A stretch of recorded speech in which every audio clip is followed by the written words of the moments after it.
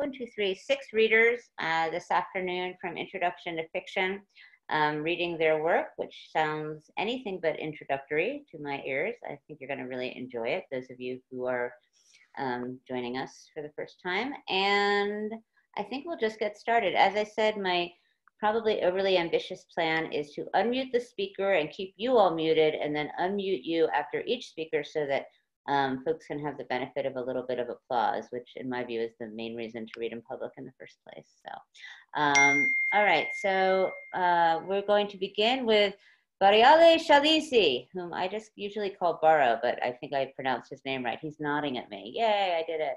Okay, so Baro, you should be unmuted. Yes, and and you'll just tell me when to stop, right? Um, Or well, should I stop? I, well, you timed it for about five minutes, right? I'll keep Yeah. I'll keep I'll keep an eye on it. for sure. Okay, great, thank you. Yeah. Well, here goes. The, the story's called Push Pull. At six four, Paul dwarfed Susan as she sat scrunched in her wheelchair. What did you think of my manuscript, he growled. Susan involuntarily shrank into the back of her chair. Do sit down, she snapped. Paul moved to the rustic hand-carved sofa across from her. Susan watched the muscles of his back ripple through his tight t-shirt and smiled. He moved like a well-oiled machine, smooth and harmonious. Through no fault of his own, close up, Paul felt menacing and dangerous. But at some distance, he reminded Susan of an overgrown St. Bernard puppy, happy, gentle, willing to please. The sofa groaned as Paul threw himself into it. Satisfied? Better, Susan responded. She cast her eyes around the living room. Sunlight cascaded in through the floor to ceiling picture windows. Like a sparrow in search of a tasty morsel, her eyes darted from the hand hewn logs of the cabin to the Native American pattern upholstery of the furniture, the framed Georgia O'Keeffe posters hanging on the wall. Her eyes invariably came back to rest on Paul. Isn't this just the coziest cabin you've ever seen? She hugged herself in sheer joy. It's so secluded, so private, so safe. Yeah, whatever, Paul frowned. Did you like my manuscript? Susan burst out laughing. When Paul frowned, his unibrow had the uncanny knack of scrunching up like a caterpillar attempting to crawl off his face. The sound of her laughter made Paul cringe. It verged on hysterical, reminiscent of shattering crystal, sharp, clear, high pitched. Everything about her had changed since the accident. With effort, Paul reiterated, Well, did you? His deep voice bounced off the wall like the echoes of a bassoon rising from the depths of a canyon. Did I what? Susan innocently asked. She opened her blue eyes wide, her lips curved upward ever so gently, revealing the faintest hint of a smile. She was certain that she still loved Paul, but over the past few months, ever since the accident, resentment eclipsed her love. Pride though she had, she couldn't quite recapture that love. It bobbed and danced just below the surface. It was her therapist's idea that the two of them vacationed someplace remote, someplace far from the city, far from the scene of the accident, someplace where, perhaps with luck, they could reawaken their love. She had not confided to Paul her reason for choosing this peaceful and serene cabin. Paul slammed his fist on the coffee table. What little coffee was left in the bottom of his mug took wing, droplets landing on the tabletop. Calm down, she looked at him in the, in the eyes. Are you still going on about your manuscript? Even with him seated, she had to look up to make eye contact. I loved it. I've always loved your writing. You know that. That's what attracted me to you in the first place your insights, your sensitivity. You're a talented writer. Paul leaned back and sighed. You've always been my best audience. His brown eyes locked with her blue. He wondered for the millionth time had it not been for the accident, would she have transformed into the manipulative, whiny person she'd become? Their love had always been perfect, natural, complete, a mirror of his parents' marriage. Now he was torn between love, guilt, sadness, and hatred. Guilt that she had induced. The changes in her had wrought an unmistakable change in him. He hated himself for it, but he seemed powerless against it. He wished he could whisk her back to the days before the accident. They had been so happy together. She so vibrant and energetic, hiking forest trails at work, dancing all night when they were together. He leaned across the coffee table and gently brushed a lock of golden hair out of her eyes. I'm going on the balcony, she announced. I need some alone time. She laboriously got her wheelchair rolling. Paul jumped up to help. I can manage, I can manage, she said without so much as glancing at him. I have to do things on my own, be independent and self sufficient again. She reached for his hand, her eyes saline pools. I know you want to help but I don't want to be any more dependent on you than I already am. Once outside, Susan took a deep breath, filled her lungs with the fresh mountain air. The balcony had become her new safe place. A tear escaped her eye as she thought of the days now gone forever when she would scramble up a tree and hide in its branches, lost in a book in daydreams. She had first resorted to hiding in a tree when still a young girl, craving privacy from her baby brother who in his guileless way hero worshipped her and tagged along wherever she went. As she grew older, she continued the practice anytime she wanted to be alone with her thoughts.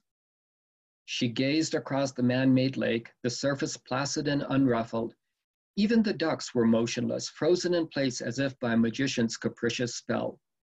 In the distance, she heard the gentle gurgle of a hidden stream as it poured over river rocks and spilled into the pond. She noticed a new scent in the air, one that hadn't been there before. She sniffed. Lilacs. The heady aroma of her all-time favorite flower was redolent on the warm air. A botanist by training, her dissertation had been on lilacs, syringa. By scent alone, she could identify more than a hundred cultivars. She closed her eyes and took another deep breath. Like the antenna of an ant, the fine hairs in her nostrils quivered as the familiar scent wafted across them. She smiled as she recognized the cultivar, the beauty of Moscow, Syringa vulgaris Krasavitsa Moskvy. She opened her eyes and scanned her surroundings, twisting her neck and torso, first in one direction, then the other. Sure enough, through the rails of the balustrade, she spied a hedge of lilacs just to the left of the cabin, their newly opened, pristine white blooms glistened against the cerulean blue sky, appearing to mingle with the puffy white clouds that gently floated by. She smiled. Her nose never failed her. She wished she could stay here forever. The cool metal of the balcony rail sent a thrill up her arms as she lightly rested her fingers on it. Her eyes closed, seduced by the peace and tranquility. So I think that's about the five minute mark.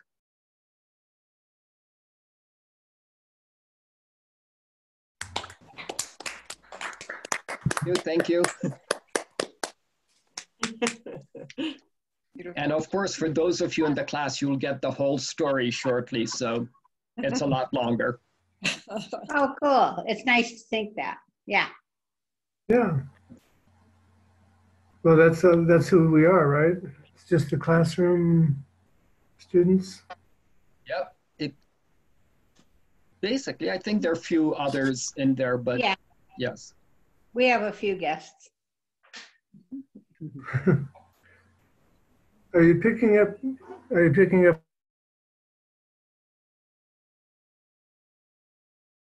Muted all participants. Uh, yes. Sorry, did you have a question, Ken? No, that's okay. I was just wondering if you could see me. I cannot see you. You cannot. No. Why don't you work on that? Because I would like to. All right, I'm muting everybody. Do, do, do. All right, you- but you can still hear me. Our next reader is going to be Pat Hastings, uh, coming to us live from a, a very exotic location. Pat? Oh, I need to unmute you. Sorry. Might not have been my best idea. All right, there we go. Pat? Yes, I'm on the Golden Gate Bridge, but Okay, I'm not going to jump. Please don't. Okay, thank you everybody for taking the time to join our class and hi classmates. It's been a long time. This is called The Healed Heart. I'm the one with the broken heart, said Emma. We have to do what I want today. She tugged at her cutoffs, fixing her belt, which was twisted in the back. She'd been crying, her usually bright eyes dull and swollen. That sounds ominous, said Charlotte with a smile. She gave her long dark hair a twist and secured it with a clip she'd taken out of the front pocket of her jean shorts. The two roommates were sitting in Emma's Honda Fit, parked outside their tall granite dormitory.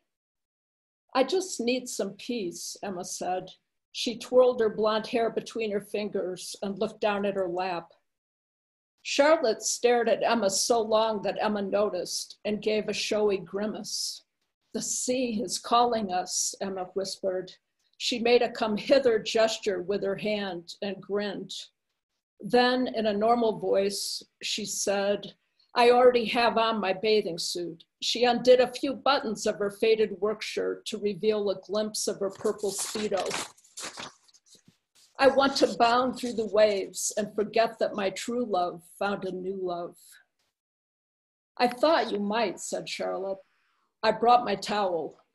Charlotte was already resigned to missing her philosophy class this Monday morning. She rested her arms lightly across Emma's shoulder. The pills and alcohol, downed by a despondent Emma two nights ago, had scared Charlotte badly. She hoped they'd scared Emma too, but she wasn't sure they had.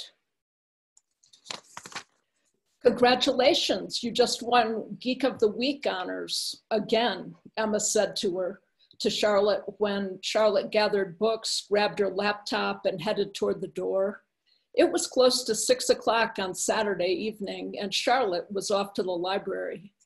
She was used to the teasing, but Charlotte loved the quiet of the stacks when everybody else was out partying. You'll be sorry when I get summa cum laude when we graduate. If I graduate, said Emma, looking suddenly grim. What do you mean? Charlotte shot her a glance. Of course you'll graduate. We both will. Emma ignored her. She stood at her closet door, flipping aimlessly through the hangers.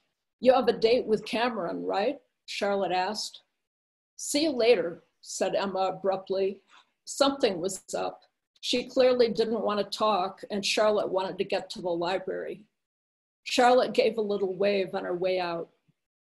Charlotte remembered this exchange the next day after all the excitement died down. Had Emma already been planning it? Charlotte should have skipped the library and made her roommate tell her what was going on. It was almost 11 when Charlotte swung open the dorm room door and announced, I have returned. Emma never went to bed early. If she weren't over at Cameron's, she'd be awake, ready to talk with Charlotte about the events of the evening. The lights were on, but where was the music Emma usually blasted? Charlotte scanned Emma's side of the room. She saw the vomit by the bed, the empty bottle of scotch, scotch. She saw Emma's rumpled figure on the bed, and with horror, she saw a prescription bottle overturned on the side table. Charlotte ran to Emma's still form and tossed aside the tangled bedspread. Charlotte grabbed Emma by the shoulders. Emma's head lolled to the left. She was breathing, though. A piece of paper on Emma's bedstand caught Charlotte's eye. It was a huge heart in two jagged pieces. Racing over to her backpack, Charlotte fumbled for her phone and dialed 911. Then she ran into the hallway and yelled, Help, please come, help. I'll leave it there. All right, I'm unmuting.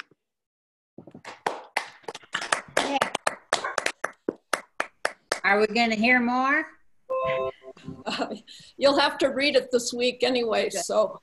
That's what happened. That's that's the part of the story that happened before the other story that we read in class when they're at the beach, right?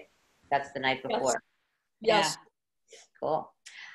Love it. Can't wait. All right. I am going to mute everybody. Huh. And then I'm going to unmute. Yes, continue. And then I'm going to unmute. All right. And I'm going to introduce, I've unmuted Cheryl Marita. Cheryl, you ready? Right, yeah, All right. all right. Fiction. Scary stuff. So it's, my title is What Were You Expecting?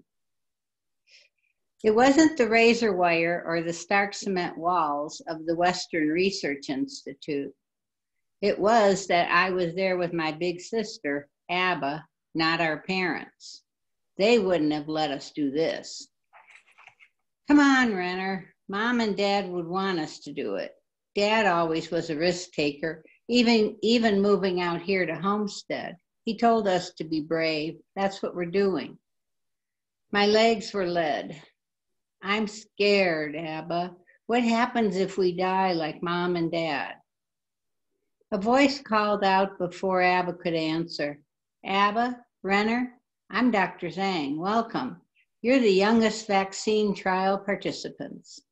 Sorry about your parents catching the virus at the 2040 Homesteaders Conference, but they'd be proud of you. Proud, parents, neither one made me feel better. Let's just get this over with. I need to get back home. The cows need to be milked. It's just us now. Dr. Zhang held his head to the retinal scanner, and when the locked door popped open, he waved us through. We need to check you over before you get the vaccine. It's just five drops under your tongue. We'll give you some testing equipment to take home, and then you can be on your way. The rest of the visit was easy, and the lemonade drops tasted good. Abba drove home. She promised Dad before he died she'd take care of me. Seems more like I take care of her doing all the outdoor chores. But she cooks and keeps the house in between her books. Her damn books about flying, being a pilot. I miss mom and dad, but I have to garden, milk cows, groom our horses, herd the sheep. It's just too much. I closed my eyes and leaned against the window, pretending to sleep. I didn't like to talk anyway. I used to love mornings, singing with mom, helping with the chores. Now it was hard to get out of bed, facing all the animals alone, but Mercy bellowed to be milked. I'd been milking, Mer- I'd been mer- milking Mercy by hand, like mom did. It wasn't easy. My forearms were sore. But when Mercy turned her brown eyes to me that morning, I felt a twinge in my head. Weird. I felt more relaxed after the twinge, started humming a song I'd forgotten. Squeeze, relax, squeeze, relax became almost like a meditation. We must have both relaxed. Mercy gave twice as much milk since the day mom got sick. I had to carry the full bucket carefully back to the house, but I turned and waved to Mercy, who'd gone back to her field. How stupid, waving at a cow, as if she could wave back. Mercy turned and flipped her tail. Hmm, crazy. Abba was at Grandma's oak table reading a book as always, but looked up in surprise. What's made you smile? I don't know. It was just felt good to milk Mercy, and I got a tune in my head. Something mom used to sing. Probably ABBA. Bet the song was Knowing Me, Knowing You. They sang it as a lullaby. I wanted to be alone, so I went to my room and looked up the words to the song. I learned the words and I could hear mom's voice. Sunset meant another milking session, so I trudged back outside. I used to love being outside. I hope someday I would again. Mercy was already at the barn. Hi, Mercy. Let's get you set up so I can milk you. Mercy moved quietly into her place and twitched her tail right in my face. I laughed and started milking, but this time I sang the words. Knowing me, knowing you, we just have to face it. There's nothing I can do. I kept singing, but my tears dripped into the bucket. I had to stop to wipe my face. I don't want the I didn't want the milk to spoil. Then I heard or felt something. You can do this, honey. Your mama taught you good. I leaned forward and looked at Mercy's soft brown eyes. Mercy? Yep, that vaccine packed a wallop. Doesn't happen to older folks. They're too locked up but it worked on you. You mean? Yep. The animal's been trying to find a way to tell humans they've got to stop messing with nature, so we decided to mess with the vaccine. Hope someone young would step up. What about Abba? Not sure. doubt she'll be an animal communicator. Doesn't really like us, but maybe something else can help you guys take care of the earth. Only way we're gonna survive, and I want my babies to have some green grass to eat. I walked back to the house with another smile. Maybe there was something to live for. All right.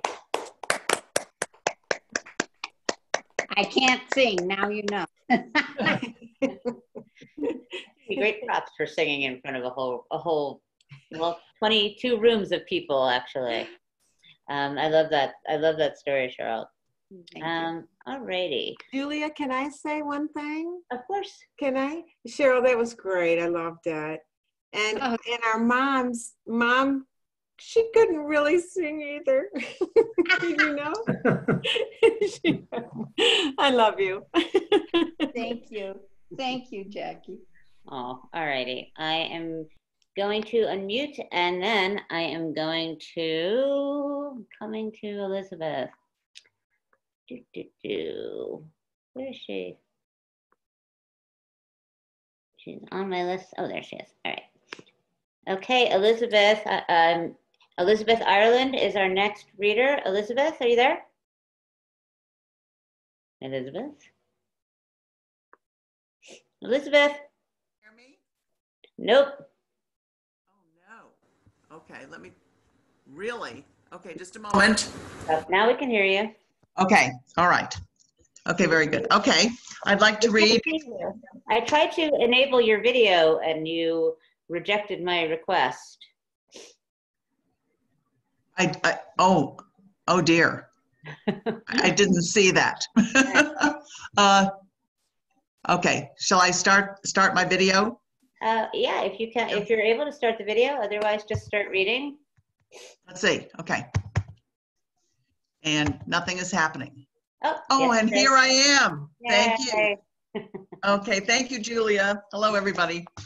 Okay, this is um uh this is my second uh this is after the first um part of my story. So, uh this the steps of Casa Casuarina. The black and white photograph from 1935 captured a moment which turned into a romantic courtship and marriage of 55 years for Anthony and Ethel. The photograph showed a tall, royal poinciana flowering tree with feathery leaves in the background, along with tall, majestic royal palms. Wild poinsettias grew next to the road. On the grass in front of Casa Casuarina Hotel stood Anthony, Ethel, Uncle Bill, and Cousin Pat. They were all dressed in shorts, showing their tanned bodies. The warm ocean breezes ruffled their hair. Everyone was beaming. Ethel was holding a popsicle.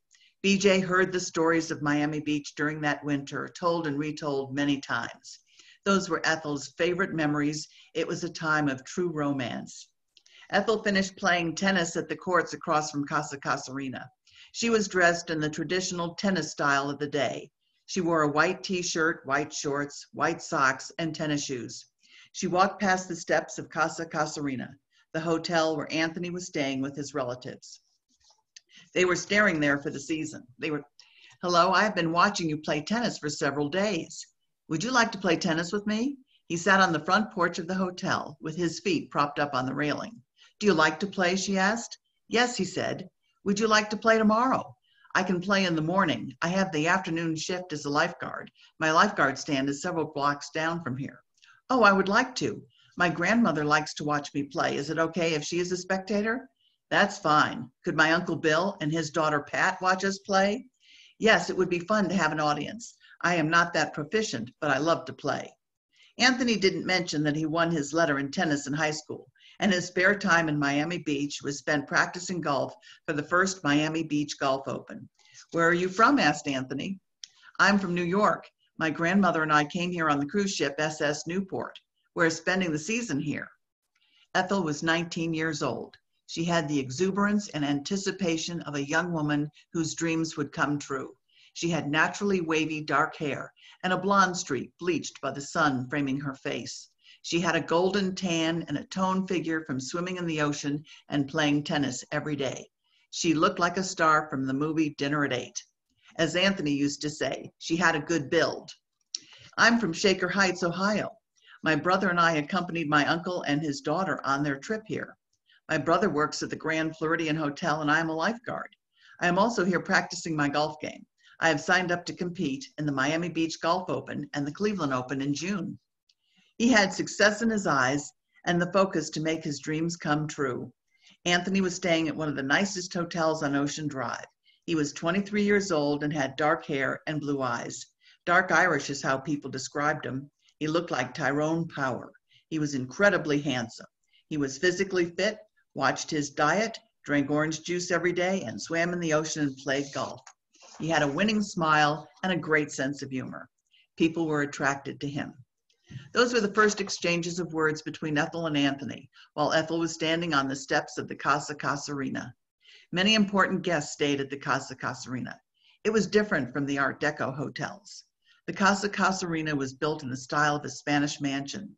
The wooden floors on the top floor of the hotel were salvaged from Christopher Columbus's home in the islands. There was a beautiful fountain of three maidens and a pool of water in the center of the courtyard. One of the guests at the hotel was Grau San Martin's son. His father was an exiled dictator from Cuba. The family disappeared in the middle of the night. Political foes were going to hurt them. Many years later, it was the home of Gianni Versace. He was gunned down in the same steps where BJ's parents met. In 1935, Casa Casuarina was the best place to be in the most fashionable city. Miami Beach was called the Paris of the US. It was the ideal setting for romance. Anthony won the heart of Ethel and the first Miami Beach Golf Open.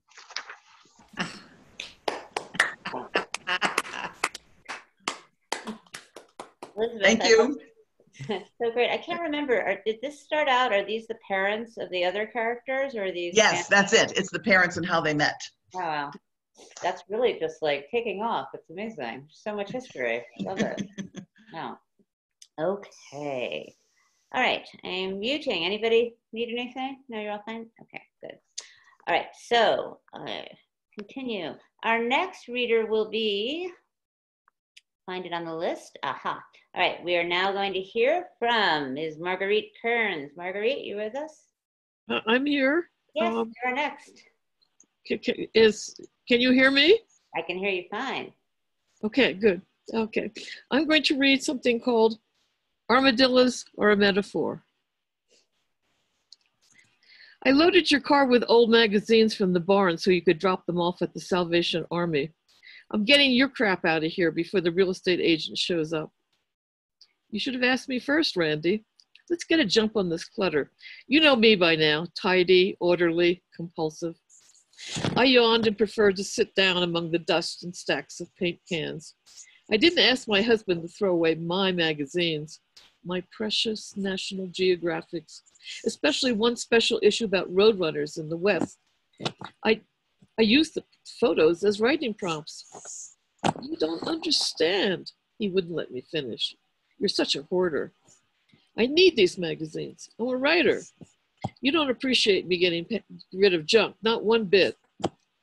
Randy took a drag on his Marlboro as if performing on stage at a late night venue in- in Greenwich Village. We were alone in the barn, but he spoke as if he had an audience gathered to witness our exchange. See how unreasonable she is? My husband said when nodding in my direction, where I stood dressed in a flannel nightgown covered with a black kimono robe. What's your beef with me anyway? You couldn't have had a better partner than me. And over there, get rid of that copy with the cover article about armadillos. I can't. Armadillos are a metaphor. Spare me. I'm trying to explain. Everything about you is an excuse. I should try for a reporter position at the Rocky Mountain News like Randy suggested? No way. I'd rather stand on my own two feet. Armadillos like me developed armor from being ordered around. Since I didn't adjust well to ordinary reality, I spent the summer months sleeping during the day in my burrow and emerging at night to root in anthills. Some folks describe my back and front as leathery. I escaped easily from awkward situations because of nine movable bands. My armored head and tail, complemented by thick skin and coarse hair, made it easy for me to thrive in Catskill Mountain thickets and brambles, feasting on grubs and beetles. To cross a river or stream, I puffed up my lungs, filled them with air, and swam like strikes of lightning. I could walk on river bottoms and hold my breath up to six minutes. I had the ability to jump three feet in the air, land on my feet, and yell freedom at the top of my lungs. There couldn't be any of him for me other than we shall overcome.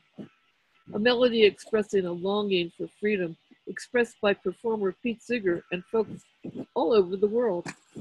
I remembered a hot night in jail and a potent image of a closed space, tight air, tense feelings. Back in my college days, jail was associated with a stand against injustice. I didn't expect to be arrested. Freedom. I love the sound of the word. As a young woman, freedom and had the most relevance when applied to issues of my personal freedom and my parents' discomfort with me and my social life as a young person. I'd been attending the Philadelphia area women's college when another student asked if I'd accompany her to Cambridge, Maryland to volunteer for a campaign to end job discrimination and desegregate public accommodations. As an undergraduate student with a sociology major, the social conditions raised in my coursework aroused my interest. The possibility of jail wasn't even on my mind.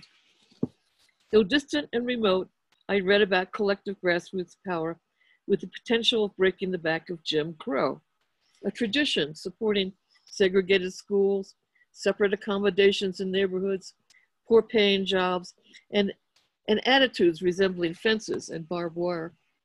During the civil rights movement, conscience confronted institutionalized racism, strengthened over the decades following the Civil War.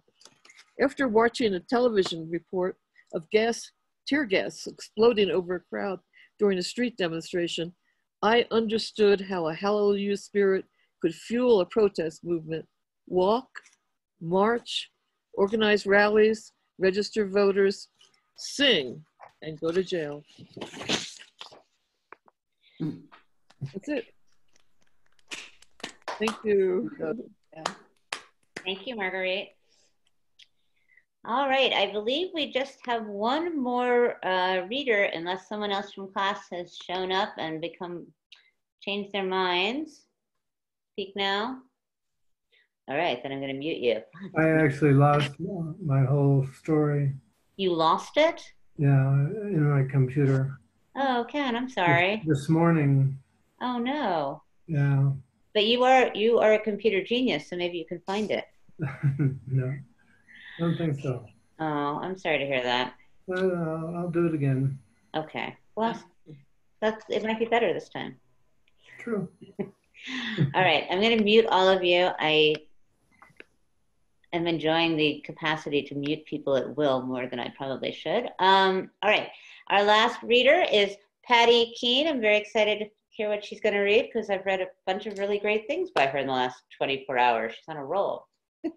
Thank you. I actually have two uh, two short stories.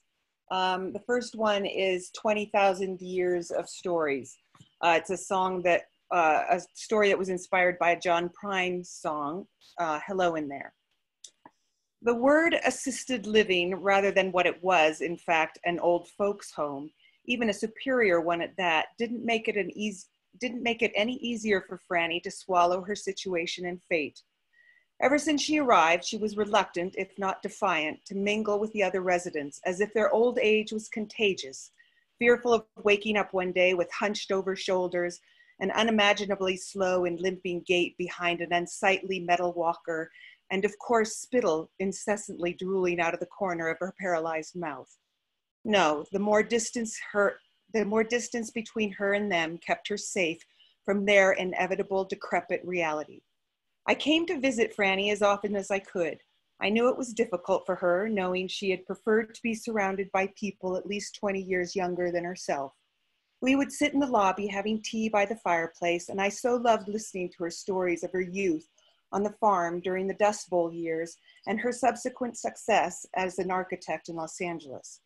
On the good days, Franny would invite residents to join in our conversations, listening to their collective experiences of their vast and diverse lives. It was not until Franny and I did the math and figured between the 250 residents, assuming they had an average age of 80 years, there were 20,000 collective years of rich and copious experience living in these halls. From that day on, Franny held court surrounded by her new friends, catching up on the boundless stories they told each other, bowing to, rather than shunning, their life's war wounds. The next one's called 13. It was my younger sister's 13th birthday. Christine and I had been playing hide and go seek nearly the whole day with the neighborhood kids when our mom called me into the house for the third time. She was losing her patience by then, trying to get dinner on the table by the time our dad came home from work. It was August, where the days were long, warm, and carefree. Summer days back then always carried a certain sensory appreciation for me more than any other season. The sound of the neighbor's zigzagging lawnmower, the wafting scent of jasmine intermingled with the random squeals of children playing in the freshly cut grass, and the sun disappearing not long after half past eight, leaving that magical periwinkle blue hue in the sky. Those gratifying moments unfailingly repeated themselves until the day my sister turned 13. I was having too much fun to obey my mother's demand to light the barbecue. I loved lighting the barbecue, a job my dad taught me how to do that summer. Having only two girls, he taught me all the things he wished he could have taught a son. For me, it felt like a rite of passage and made my dad proud, which was no small feat. But this day, James, my next door neighbor, was teasing and taunting me more than ever, and I was giving it right back at him. It was obvious we had a crush on each other that summer. Helen, yelled my mom across the grassy field where we were all playing, please come light the barbecue. She had been inside preparing Chris's favorite meal of barbecue chicken, corn on the cob, fresh fruit salad, and a watermelon shell carved out like a basket, and a surprise dessert of chocolate cake baked in the shape of a bunny, Chris's favorite animal, piled high with chocolate frosting, pink frosting for the nose and ears, and 13 colorful candles. It went without saying, my sister and I were the envy of all kids on the block because it was a well known fact we had the most remarkable mom, if ever there was one. I just had to tag James out one more time to show everyone, but mostly him, who the fastest was between the two of us. We both knew it was me, but I had to prove to him again my athletic agility. The familiar woman's screams emanated from our backyard in such guttural anguish, it forced all of us to stop in an instant, as if a moment in a photograph. Our heads turned to each other's, eyes wide open, not knowing if we should run toward or away from the screams. In spite of my trepidation, I ran as fast as my feet had ever run toward the agonizing, inhuman shrieks. By the time I came tearing through the backyard gate, she was fully engulfed in flames, the last bit of her blue and white striped cotton dress consumed by the fanned flames from running back and forth in a state of panic. She fell to the ground, her screaming diminished, but for the ghostly sound of flames licking her body. I stood in horror, paralyzed by the inconceivable scene playing out in front of me, only to be jolted out of my shock by my own screams of, Mom, no, Mom! I went for the hose by the side of the house and doused her body with a flow of water, white smoke rising, obscuring the grisly sight. My remarkable mother laid on the singed grass, motionless, a small whimper coming from her unrecognizable face. There are no words for what I have undergone mentally after this incident, as my mother, as my father and sister call it. I have often wondered why they chose that word and not accident. We've never been sure what happened exactly that day, but we do know she went to light the barbecue and somehow her dress caught fire. Wow. Mm. I love that the story starts with that barbecue and you're just lulled into thinking they're having a barbecue and then that's how it ends. Yeah. I think that's all of our readers. Did anyone have any comments or questions for the writers today? Beautiful on everyone's part. Thanks. Thanks for doing that. So nice to hear all this work. Um, well, I just want to really quickly thank uh, Val, who um, always helps us with these events when they're in the real world and all of this up. Thanks, Thank you Val. so much, Val. Thank you, Val. And Thank thanks you. so much, Kate, to Kate, who runs the department and is, uh, I don't, I assume you all know Kate, but she is a lifeline of positive helpfulness. So um, I look forward to seeing her in the hallways. Hey. All All right, everyone. Well, if you're in our class, you will hear from me shortly. I'm going to go set up our workshop uh, discussion forums on Canvas, and I hope